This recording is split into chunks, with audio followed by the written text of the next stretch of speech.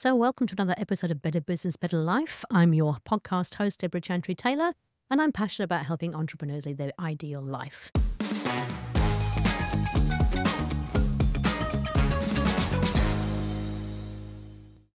I'm a certified EOS implementer, an FBA accredited family business advisor, and a business owner myself with several business interests.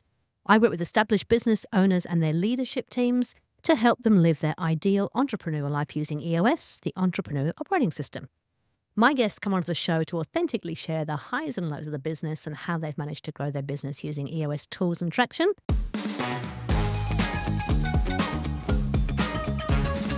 Don't think that you can just do that on your own, even if you have the knowledge. Yeah.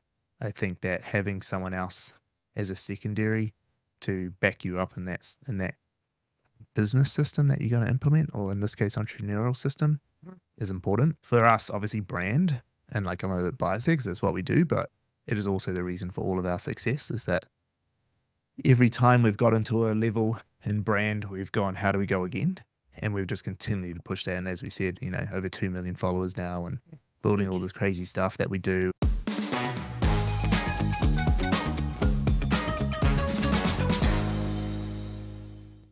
And today's guest is really special. So we had him on the show, must be uh, well over a year ago. And and in that time, the business has grown exponentially.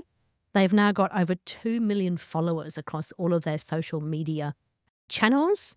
They've grown to $5 million after just four years and tripled in the number of staff they have in the last 12 months. He's a kid from South Auckland who has made good and he's going to share with us how they've actually grown and tripled the number of staff from 9 to 27 over the last 12 months without the wheels falling off. Please welcome Stanley Henry, who is the founder and visionary of The Attention Seeker. Welcome, Stanley. All right, welcome. Thanks for having me again. Oh, it's great. Um, so it's been a, it's been a little while, and It obviously has. a lot of things have changed in that time. So I'm really keen to hear a little bit of your story in that last sort of 12 to 18 months. Yeah, absolutely. Oh, where do we start? well, I mean, it's been a ride. it has been a ride. Yeah. Yeah. Tell us a little bit about that ride. Yeah, look, it's, I mean, we haven't really necessarily done anything different in this time. It's just we've doubled down on what we always did. Like we, we figured out a, a method that worked, which was to put as much content out about us as possible and continue to grow that and continue to grow our followership and our viewership and get better at it. And that's just led to more and more people knowing who we are and more leads coming in and more business growth. And then, and just keep doubling down on that. And, Yeah. and, and actually it's taught us that we should never stop doing that. And in fact, like that's what we tell our clients, just keep doing it. Like it does is it, it, it compounds over time. Yeah, that consistency is really important, I think. Yeah. So I've had the privilege of working with you, obviously, as your EOS implementer, and we've put EOS into the business, and I think that's part of the reason why the wheels haven't fallen off. But it has, 100%. but it has been a, a bit of a journey in terms of yes, you're doing more of what you do really well, that whole hedgehog Mm.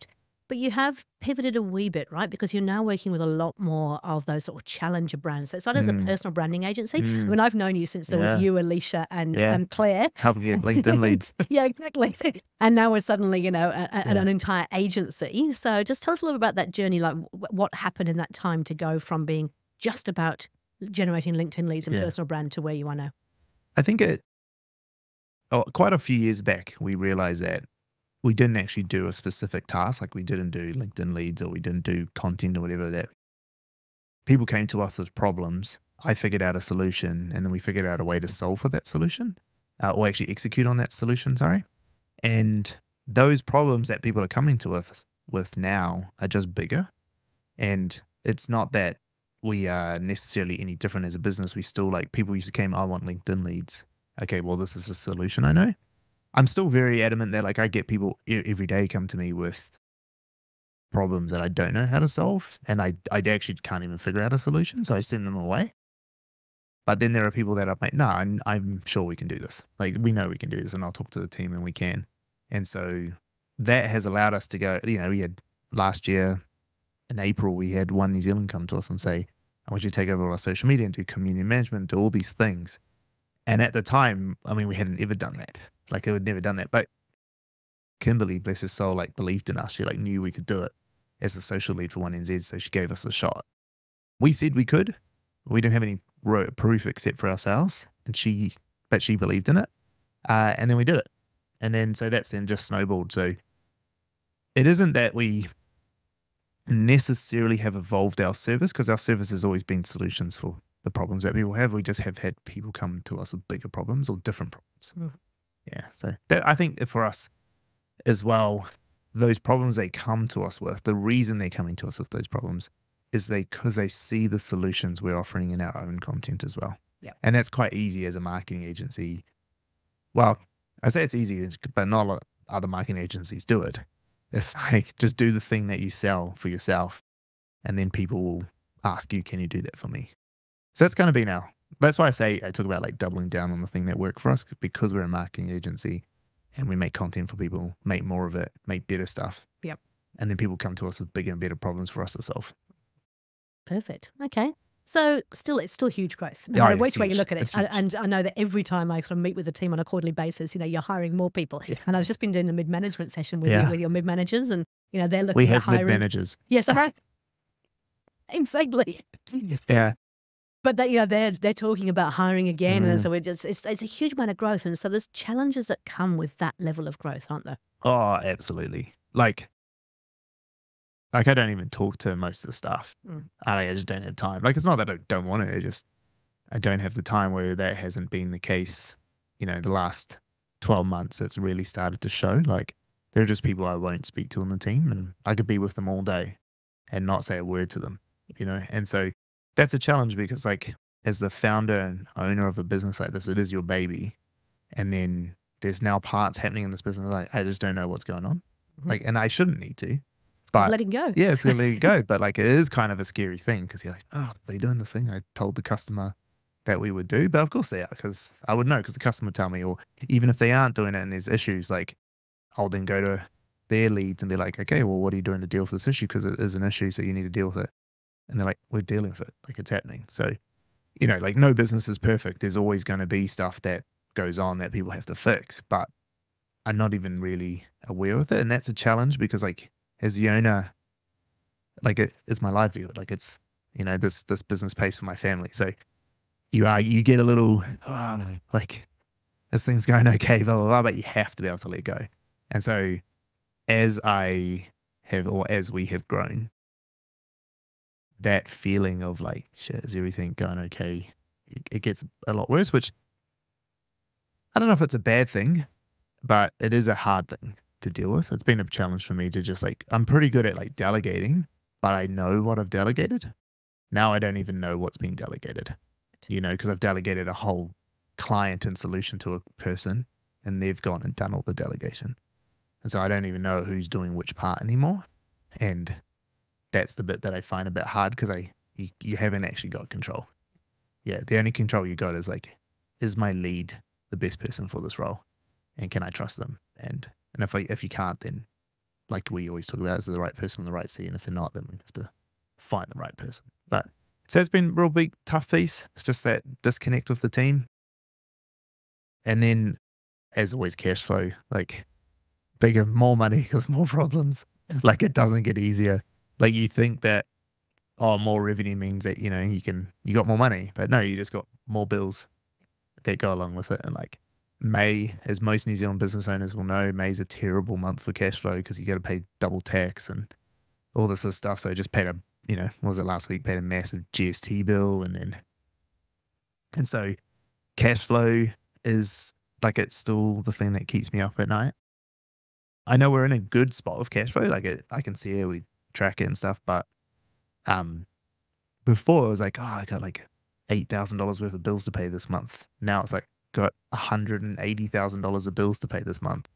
And that's scary because as a kid from South Auckland, as you mentioned before, like, I mean, that's not normal. Yeah. You don't know what that is. Like, Mhm. your, your parents didn't even earn that much money in a year combined. and you're paying it in a monthly bills. So that's sort of crazy. And then, like, the, you know, the wage bill, the wage bill's pushing 200K. It's like, so that sort of stuff's been real scary, I think. Like, the actual operations and stuff, I'm not so worried about. Like, how things get done, our systems, our procedures. I am a bit of a person who doesn't mind things not being perfect. I'm okay to, like, break stuff all the time. So I'm not so worried about that. I guess some of the guys get a bit frustrated with it that things just don't work, but we are out here trying to do things differently and breaking boundaries with the way social media and content and stuff's done. And given that there's no roadmap for that, how are you supposed to know? And so you have to break a lot of stuff. And sometimes that breaking of things like pisses people off and whatever. And it's just like, how do you, how do you just like come back from it constantly? So I'm not so worried about that. I kind of, I quite like it. Like I quite like when things break because we, we've learned from it. The thing I get frustrated is when things break and they continue to break. And that's when I, that's when I will step in and say, well, I don't have to as often anymore because we're a pretty decent leadership team now, but Mm. you know, that's where I would step in. But like, okay, you've broken this the same way three times now. That's just stupid. Like now we're, you know, we got to do stuff better now. Yeah. So, so I'm not really confused, like really, I guess, worried about the operations and things. It's, it's just cash flow and not getting, and, and like that decentralization of leadership and the loss of contact time with each of my team. I feel like a pretty, pretty big disconnect. But you've now got a full leadership team, Yeah. and you're still part, obviously, of that level 10 meeting with the leadership team. What What is it on the positive side? What's it enabled you to do? Oh, it lets me do way less different things. I still do lots, but I do less different things. So most of my day is sales outside of the, the actual CEO stuff, which, you know, like maybe I even saw it on one of your podcasts. Maybe this podcast, someone talking about it. The idea of like, my goal is, and my job is, uh, find really good talent to make sure we've got really good talent in the business sell and make sure there's enough money in the bank to pay all the bills. And so that's like my core job as CEO is to do those things. And that's all I really do now. Like I, the sales is obviously always a big part. Part of sales is also con- this content branding, like being the talent for our content and stuff like that to push it out. Finding good talent is a big part of my job still, even if I'm not getting, I guess, the sort of entry level roles Yeah. in our business. I'm still definitely out there trying to find the the more senior roles, the account managers, the uh, strategist roles, and things like that. And and also enabling the team to help them find good talent for their roles that they're hiring for. And then, as I said, cash flow. Make sure there's money in the bank. But you're also, from what I've seen, you're pretty up to the bigger ideas as well. The, you, I think about the New York office, and I remember that going on to our Mm. three year plan, and within Mm. three months, you're off to New York.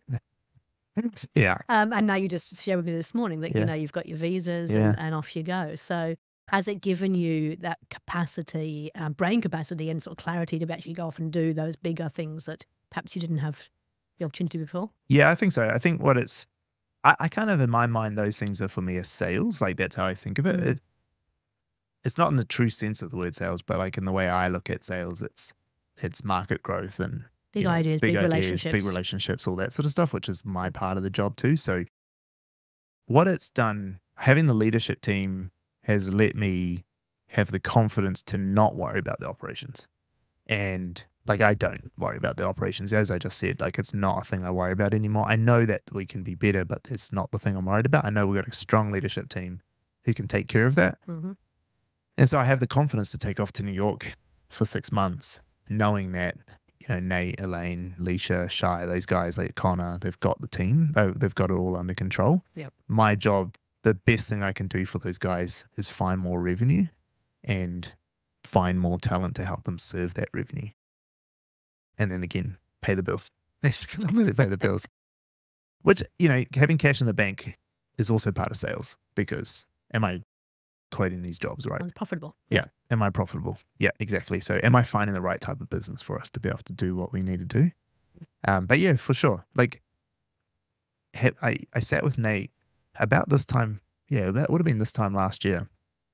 And I said to him, okay, so we've got on the EOS to be in New York in March or April, sorry, 2024 to go, to go over. And I said to him, why are we waiting till April? Like, can we do this in September, October? And he's like, well, and I was like, what would we need to do? And then we we figured it out. There's some tires we had to do and some things we had to move around and some jobs, and we figured it out and just did it. And so the only reason I was able to do that is because I had that leadership team. I had the confidence to be able to take off. And then we did the ten weeks in New York, and then now obviously it took a lot longer to get visas and stuff than we thought, but we got it all now, and we're getting back in July. But yeah, for sure. Like, I mean, at the moment, I've been talking to uh, we're creating partnerships with like a branding agency who does identity branding. um, so logos and things like that, because it's part of our EOS was to increase our uh, the uh, capabilities of our team. So being able to have the time to like meet with like an agency like that to be like, look, we need clients come to us with positioning solutions, and some of it's making new logos and things. So increase our capability by having partnerships like that. There's another digital marketing agency of a lot of things we don't do to partner with them.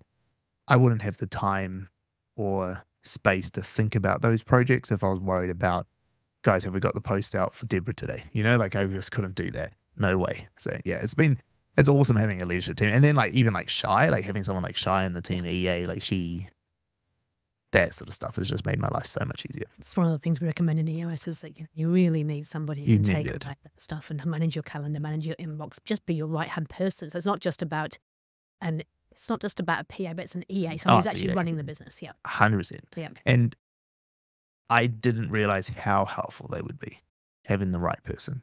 Mhm. I didn't realize how much impact she could have had for me. Like the fact that I can go eight hours back to back meetings with prospects or whatever the thing I'm doing that day, even podcasts like this, just back to back eight hours. And I get to the end of the day, and typically I'd have to spend another five or six hours dealing with the day.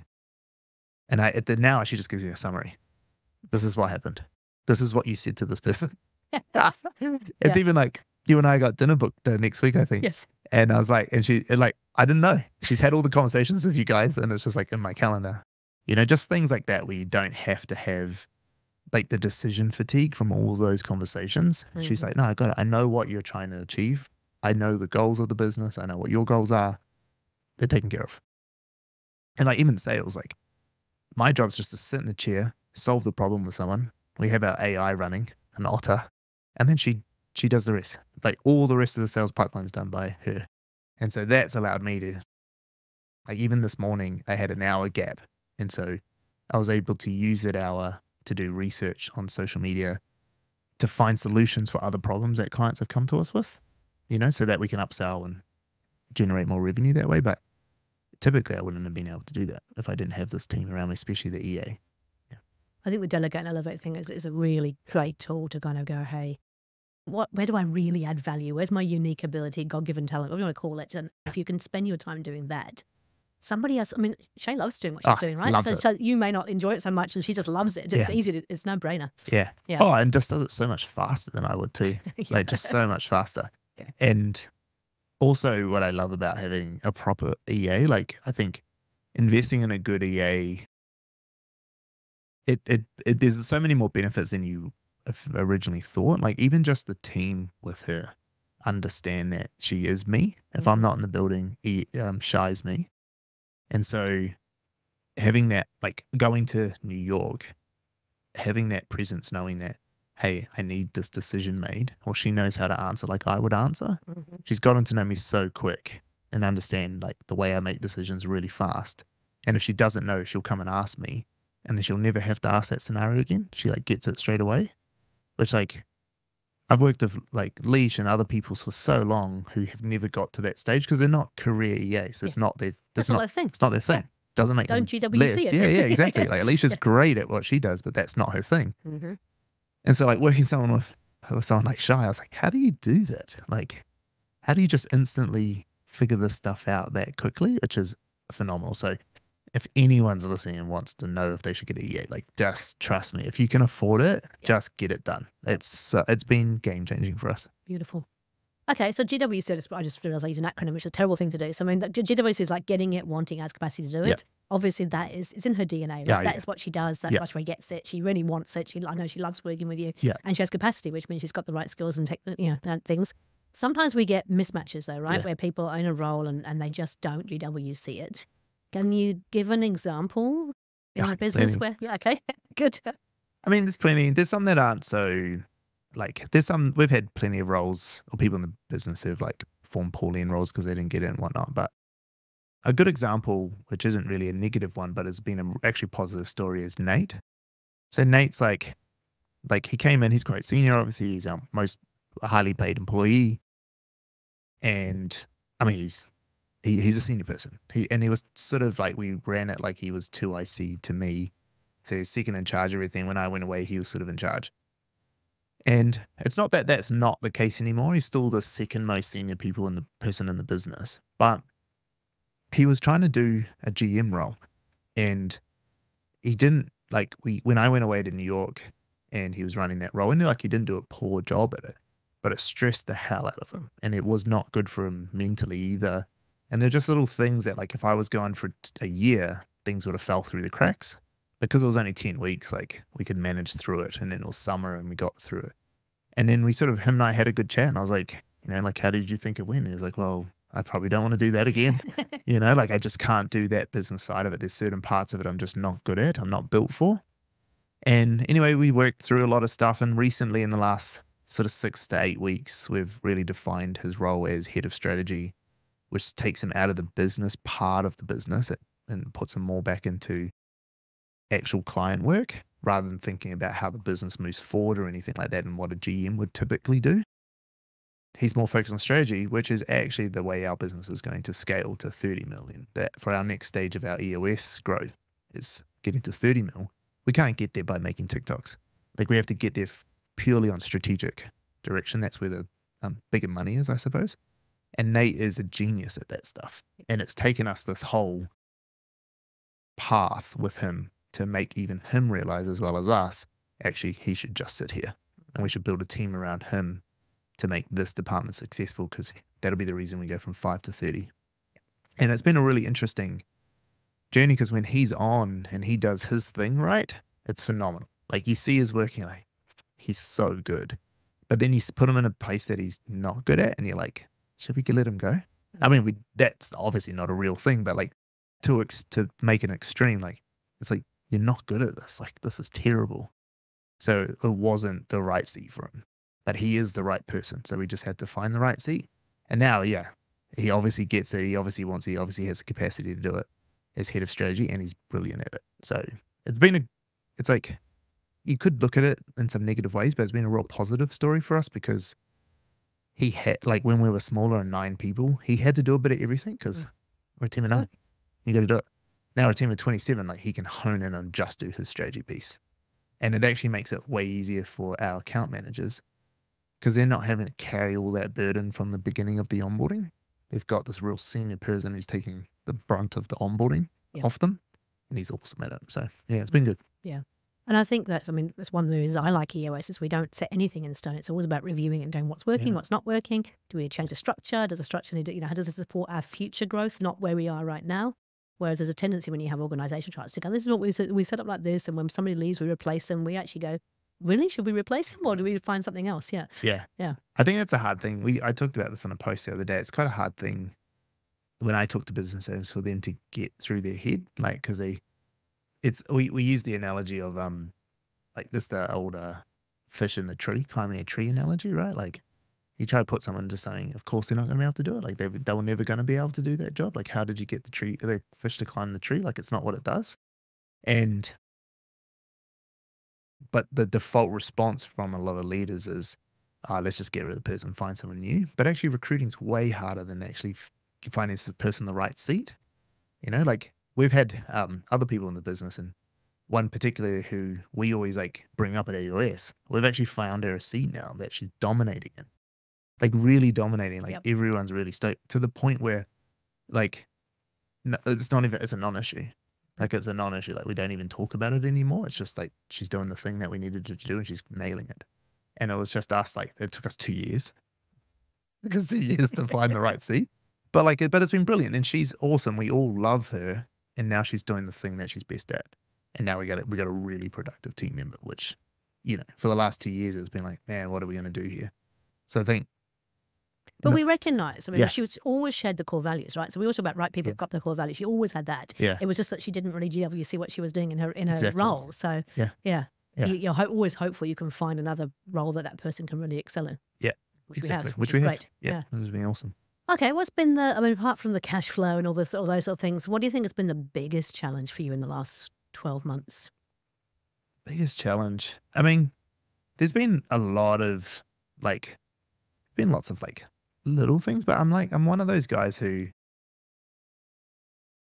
like, if the place is burning down, I'm like, I'm not really worried ever. We'll build a new one. Yeah, we'll just build a new one. Like I'm Yeah. not, I've never really been worried. I think probably my biggest challenge is um with our clients is understanding that like they don't share that same value as me all the time. And rightly so. Like it's their business on the line and whatever and their brand and I get that. But like the biggest challenge is trying to have a team that's agile enough to be able to change and try stuff or or also hold the line, hold the joke when they know it's right. Like don't just change for the sake of changing. So both those things, like having the staff who are willing to do that, but also knowing that sometimes you've got to do what's right, like what the client wants, you know, regardless. Like even though we might not necessarily think it's the right thing or we think that what we're doing is the right way to move forward and there's a bit of a steadier, slower approach or change we we're gonna change agile, whatever whatever it is.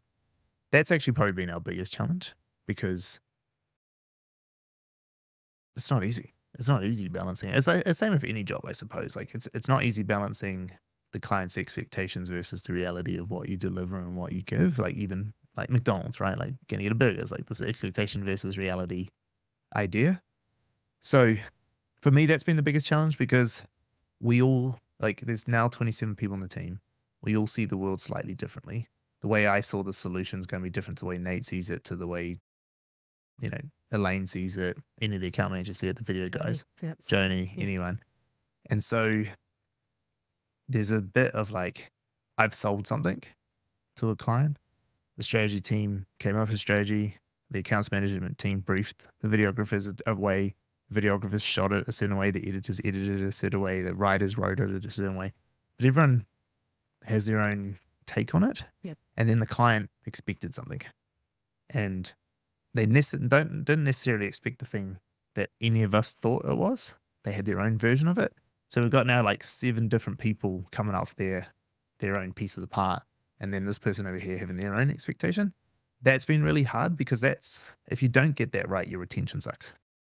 And so I think for me the biggest challenge is like how do we get this process more in alignment, and then before it even gets down the chain past myself and Nate at the strategy level, the customer knows. And that's not easy. That's been the biggest challenge for us. Like, and we still haven't solved for it. Like, it's still a thing we're working through. Like, we're currently working through, we have like our EOS process Yep. that we do with you. And even that, we're like redesigning it now. Like, we're redesigning it because we realize one, we've evolved and changed as a team, but two, we realize that there was still a gap where the client's expectation was different to what we said and we didn't know how better to explain it. And so we've, we've workshopped a bit and we're been trialing it on a couple newer, the newer clients at the moment who don't know any different. And it's seeming to land, but I think it's going to be a challenge for a long time. I think like creative subjectivity is a hard thing to communicate really well. And yeah, I'm, I'm not, I don't- actually don't really know the answer because No. Ah. if I did, I would fix it.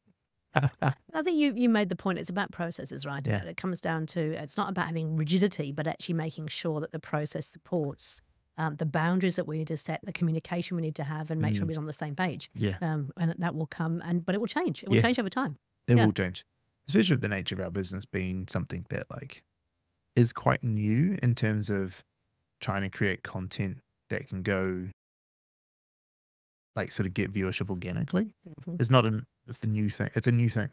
You know, like for for forever, content was dictated by gatekeepers who had the broadcasting channels and could push it out, and then you know the radio, TV, books, or whatever, magazines, and then newspapers, and then it was a kind of we went through this weird period of pay to play on Meta and all those platforms, and now we're at this point where actually you can create content that a million people can see tomorrow if you get the content right. And Mm. there just isn't really any rule books for it at the moment. And even once you think you've figured it out, you go do it for another client and it doesn't work. And you're like, why, why is this not the same thing? Like, we, we know this works, but you don't really know it works. And so it's like you're constantly having to rein, uh, reinvent this process. Well, I wouldn't say the process, but like the, the actual core process probably stays the same, but like some of the activities inside each step Yeah. have to change. And you have to realize, like, okay, just because it worked with one, why, what is it that worked? You know, you're looking at the wrong thing sometimes. So, it's good to have the process. It helps us, but like, it's just that's probably been a big challenge for me trying to like perfect our art, I suppose. Okay. I'm going to talk a little bit about EOS. So Yeah. it'd be remiss of me not to. Cool. What, what has been the biggest sort of thing that has changed the business from the EOS perspective?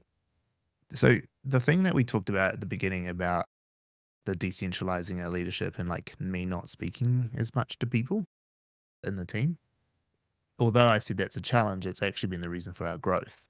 And the only reason I've been able to do that is because of the structure EOS puts in. Like I don't need to be at every EOS meeting. I don't need to know everything that everyone's doing. I have to trust that people have got their things. I've got my EOS meeting, our level 10 meeting uh, on Mondays. It all ladders back to that one. I know if the scorecard there is right and we're going through our issues, then it will filter down to Mhm. everything else. And I think that that meeting cadence has been been really good.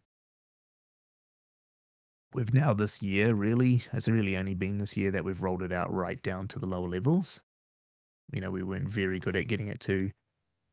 I mean, we're pretty bad at just getting it to the leadership level to do their one. We finally got that, but now we, you know, the the comms management team's doing their own one now, so we're we're another layer deep. That there, I think, has been huge. It's been game changing because, like, we we talked about it in the brand meeting the other day. We looked back. It's six weeks into the quarter, and we looked back. Okay, how are we going? Like, what have we done in Hmm. six weeks? Because we're like, we're not sure what we'd achieved. And then we realized, oh crap, we actually have moved the needle so far. Like all these little weekly things, that issues that we talk about, when you add them all up, are huge. And so all the departments are doing that. So you're actually taking off these big rocks every quarter that, you know, could take a company two years to achieve some of the stuff. And like we're six weeks in going, oh, so we've already done the rock. Like it's already done. Like we've finished this one. And it's like, and then I sometimes then think, oh, was the rock not big enough? I've said that at some of our EOS Yeah. meetings with you. And I think it's just that they are big enough. It's just that the team's all bought into it. Like they've all bought in going, okay, I get it. Like I get why we're doing this. The reflective part of the process of looking back at what we've done gives them so much confidence to keep pushing on other things because they're like, oh, we actually are ticking off a lot of things here. Like we're actually progressing a lot. And they can see how it helps them in their career as Mhm. well because they're going and they're going to be able to go into other businesses who don't do this sort of thing and absolutely dominate. You know, so yeah, That's good. I mean, I was just I talked to your team obviously just before this podcast, and and certainly they all know. You know, I asked core values, who we are, what we do, why we do it. It was just rattled off it. They all know it, and they all know, and they all know. They all, no, they know how it fits into their their departments as Yeah. well. Yeah. Um, and we're now taking the next level down. Is like, okay, how do we make sure that everybody has got something that they're focused on that moves the needle, as well as business as usual. And I always say it's the 80-20 rule. Eighty percent of our time should be spent with business as usual, measured by the scorecard, bringing the dollars in, keeping the doors open. 20% of everybody's time should be spent on what moves the needle, how do we make things better.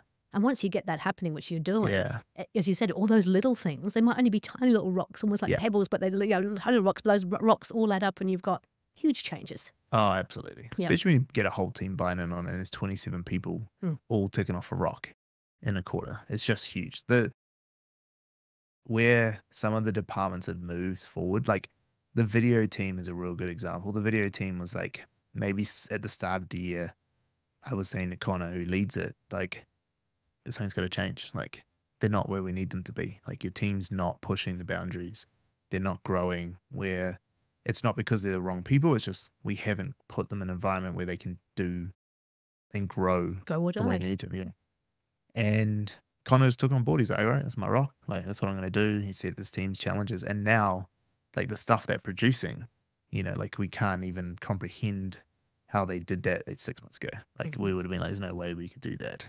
You know, some of the stuff that the guys have pulled off for like 660, like I mean, how would they ever have thought we could do something like that? And then they pulled the stuff off. So, and and it's not just that they're working with bigger, you know, like how hard is it to make content for 660? They're cool, like just make them. But like, actually, all of their clients, like they're finding new ways to do things every time and how to edit it differently and how to improve it better. And like, not just turning up to video shoots going, oh, I pushed the red button, you know, like they're actually directing their shoots now.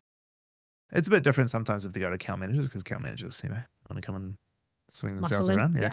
yeah. But, but, you know, like they are actually like, like just before this, you know, we had Caitlin and Ollie sitting out there and Ollie was like directing Caitlin on what the video is going to be for their next Les Mills shoots and Hmm. stuff like that. And it's like, that's what we wanted. it's ownership. It's ownership. Yeah. And so just seeing things like that, like whole departments move forward so far because they've like set their sights on a goal they want to achieve over a quarter and then they've gone after it and they buy into it and they realize that like we've EOS, because of these things, has built a culture in our team of like people who want to achieve cool things so they can talk about it. Absolutely. I have to say, Connor's one of my little gold star Yeah, kind of things. I mean, 100%. it's so, so normally we work with very established businesses, very established leaders, and they learn even throughout the process. But then you've got people like Connor who've Yeah. never been in a leadership role. Yeah. Um, and I remember, you know, he's just embraced it. Like he's like my little EOS um, gold gold star boy.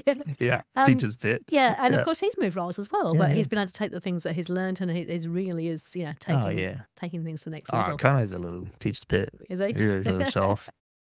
But he's brilliant. Like he he's grown he's grown enormously as a leader.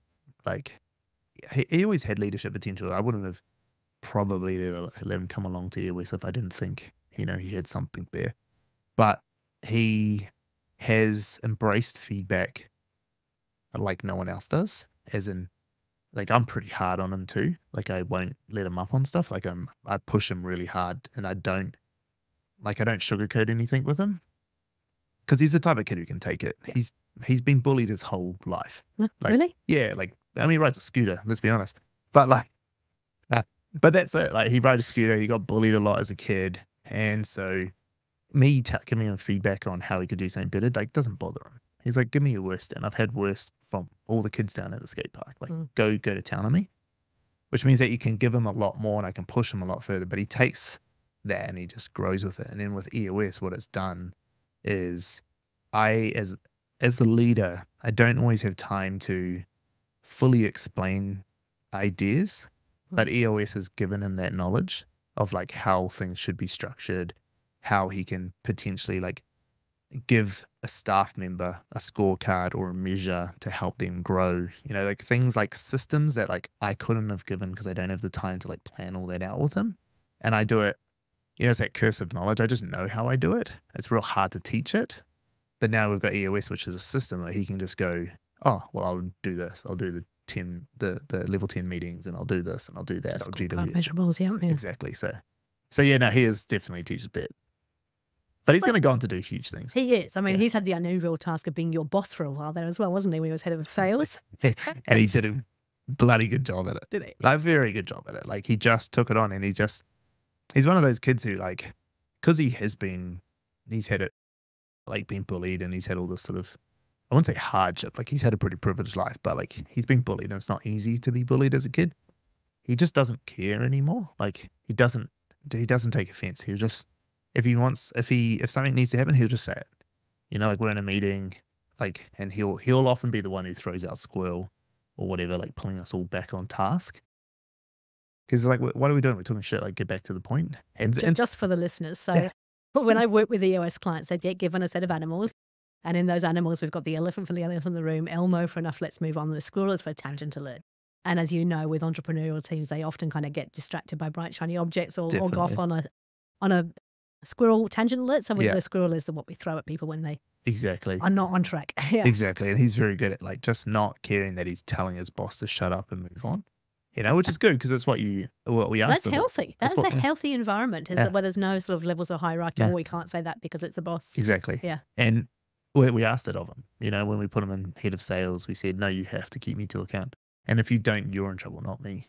You know, like that's what we said to him. And so he's like, well, I'm not getting in trouble. You're going to get in trouble. and so he pulled me up on stuff. And it made me a better salesperson having to report to someone junior to me, I think, ex- as mm. well, where I had to go, he's not pulling me up because he's actually my boss. He's pulling out because, like, it's the right thing to do. Because actually, Stan, that is your job, and you said that you're going to do it. And if you don't do your part, why the hell should we all do our part? You know, so it like made me more want to do my job better because I didn't want to let him down because I don't want him letting me down. You know? Talk. It's, it's actually really cool. Yeah. And I suppose it it's also talks to the point where in smaller businesses, often you will you will wear different hats at Mm. different levels in the business, and being able to say, in this meeting, I'm not Mm. the boss. I'm actually the salesperson, and it's absolutely right that that head of Yeah. sales should keep me accountable. Yeah. Absolutely. There was always good ones. I was on track and then he was the one who might have missed that because I'd be like, oh, gosh, what are you doing, Connor? Free- Flip your game. It didn't happen often, it was probably once or twice. But I didn't mind giving him that little jab.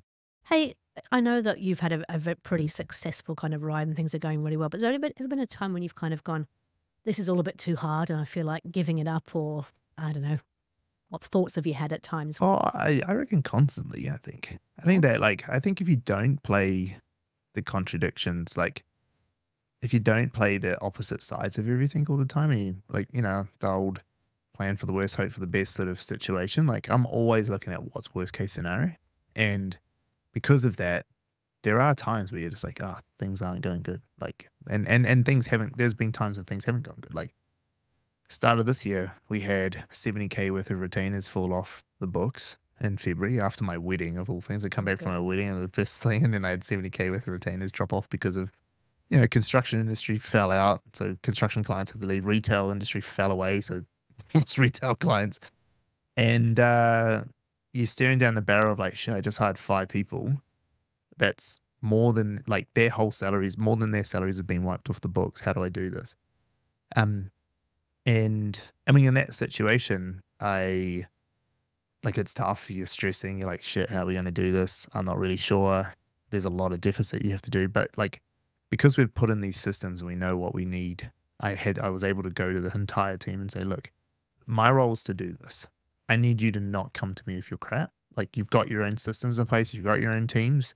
You know, you've got your own meetings that you can do in your years and stuff. I got to focus on sales. And then I took Shy, and Shy and I just like went to work and got some sales done. You yeah. know, we got some more clients, and we managed to like fill the deficit at least to cover over the period, right? But I think you always go through that. Even now, we're going back to New York in July, and we have to go for July for this for a client piece of client work.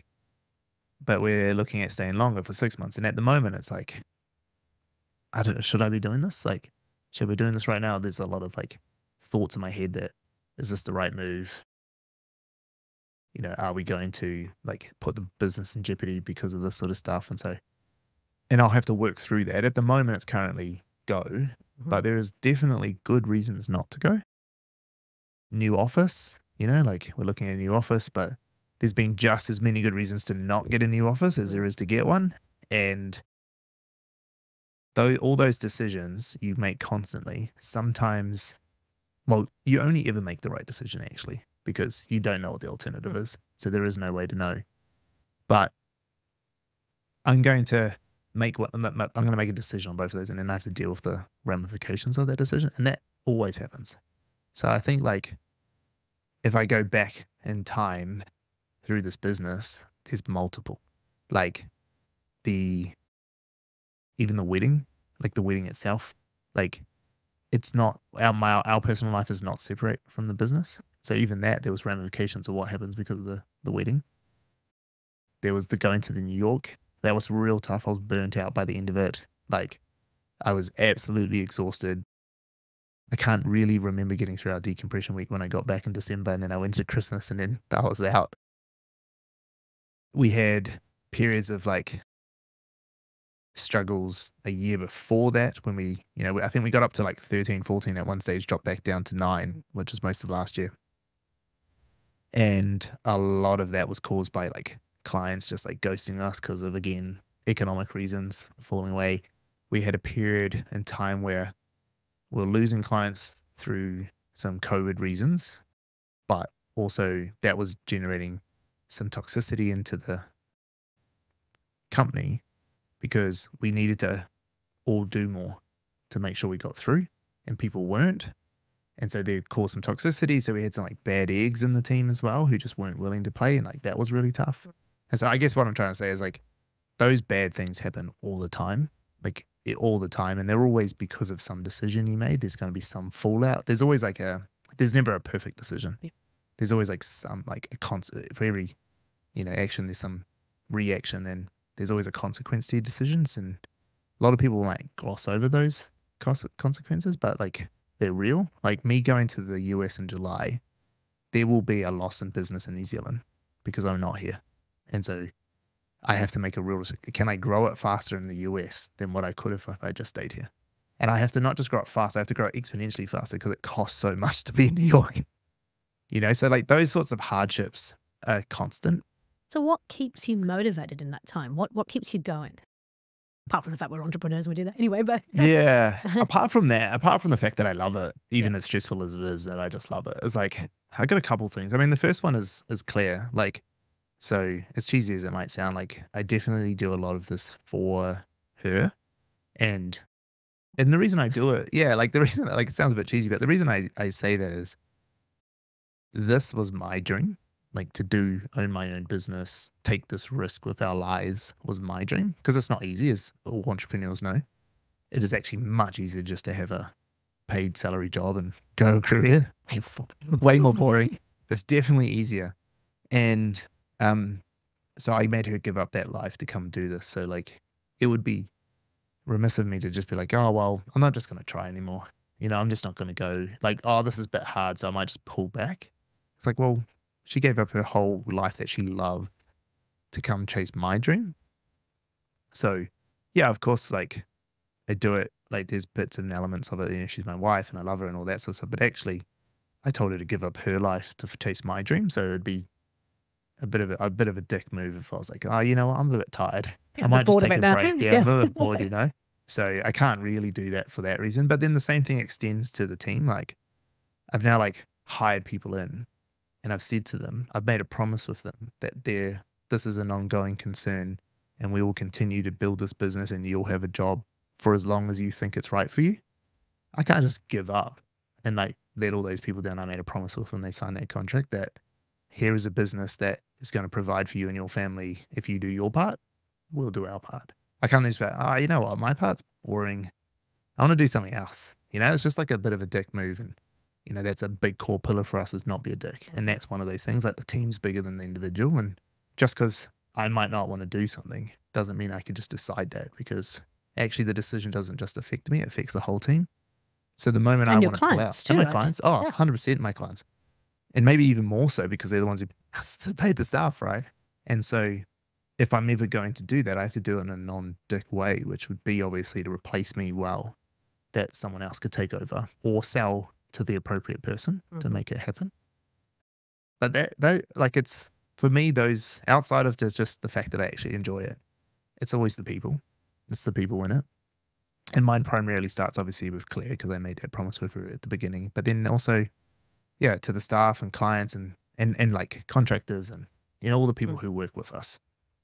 the ecosystem. Okay, that's cool. I was just wondering in terms of I work with two different types of clients, right? There's the established business that have been around for a long time and they've hit a ceiling and just can't get past it.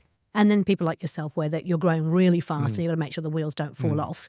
Talking to the people like you who are in business who are growing really quickly, what would be the three kind of top tips you would give them that you've learned in this this roller coaster journey over the Mm. last kind of four years? Yeah, I definitely think some of the stuff we talked about today around like having a system to grow, you know, like we're obviously using the EOS system, which is perfect for us.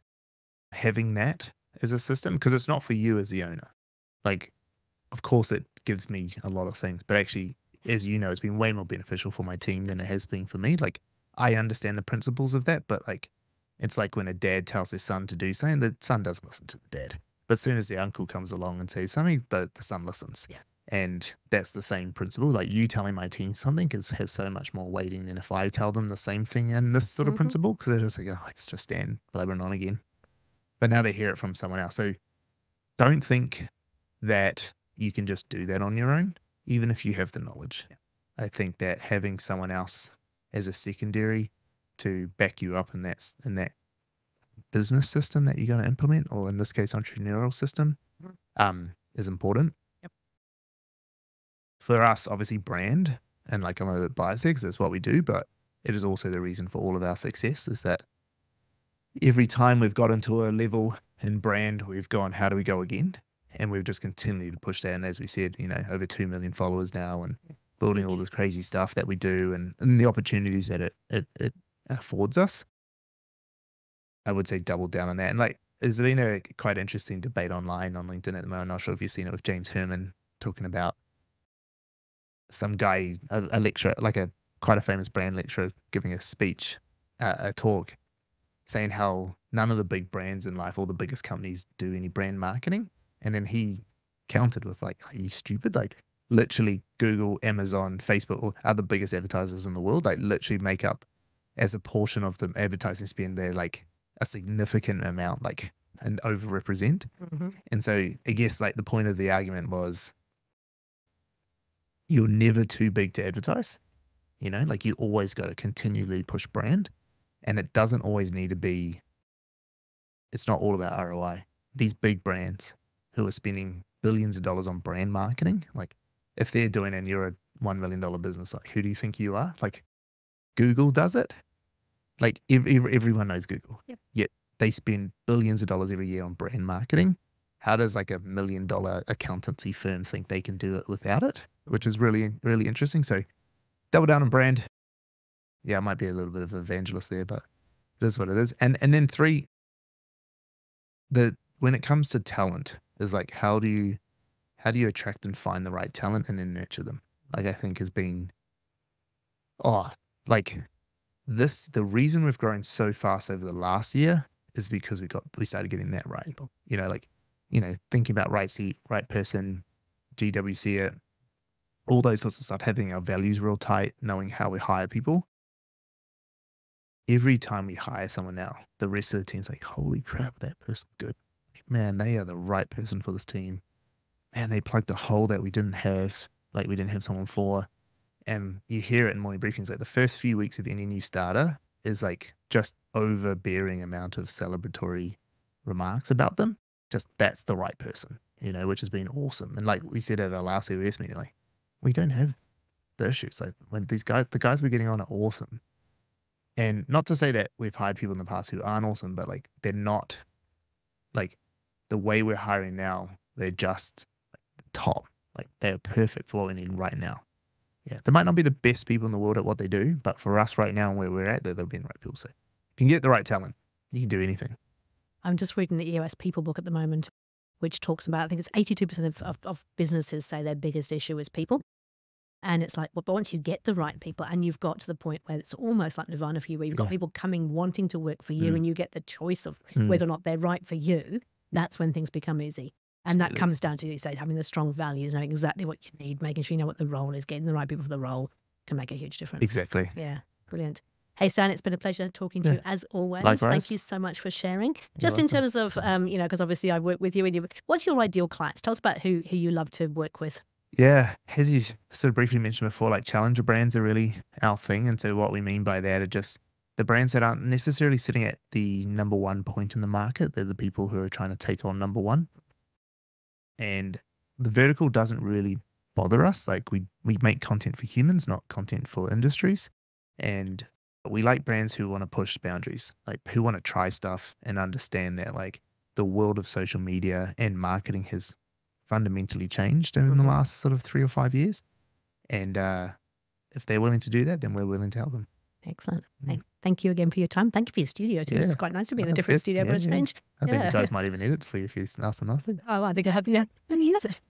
This is great. Hey, look, thank you so much for your time. Really appreciate You're it. welcome. Cheers. See you.